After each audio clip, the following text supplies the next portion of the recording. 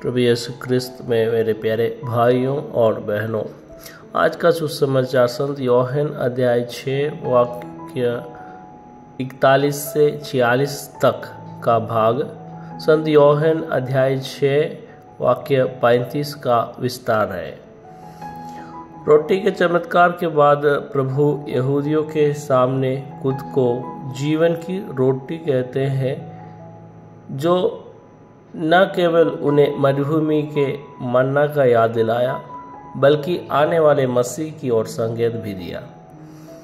यह उन लोगों के लिए प्रभु के अनुयायी बनने का खुला निमंत्रण था।